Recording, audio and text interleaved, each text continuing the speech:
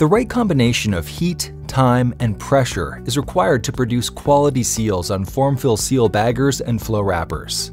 These essential sealing elements are closely linked. Adjusting one can change the others and cause unexpected problems. This Greener Tech Bite reviews the function of and relationships between heat, time, and pressure, so you can better understand and anticipate the full effects of your adjustments. The function of heat is to melt the sealant layer of the packaging film and bond the film together. The makeup of the film dictates the required heat levels, which should remain consistent across the sealing jaw face to produce an even, secure bond. Time, often referred to as dwell, is the duration that the sealing jaws remain in contact with the packaging film.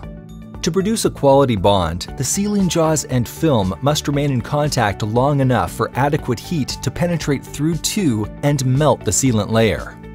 Pressure is the force that the sealing jaws apply to the film. This force moves the melted sealant layer into any open channels created by overlapping layers of film and caulks off potential leaks. Even and consistent pressure is critical for producing quality seals. The following four graphs demonstrate the relationships between heat, time, and pressure, which often go unrecognized when adjustments are made and cause seal problems. Depending on your specific film, package configuration, and running conditions, heat, time, and pressure will each have its own optimal range of levels. But their total sum, as shown here on graph 1, must fall within the optimal sealing window. Since these sealing elements work together, adjustments to one must consider the effect on the others to remain within this window. If total heat, time, and pressure fall short of the optimal seal window, a quality seal can't be achieved and significant leaks will be present. But more is not always better. Totals that exceed the optimal seal window also reduce seal quality. Seal integrity and package appearance can be easily degraded by excess heat, time, and pressure. Adjustments that cause small changes in one sealing element can often be compensated for with small adjustments to another.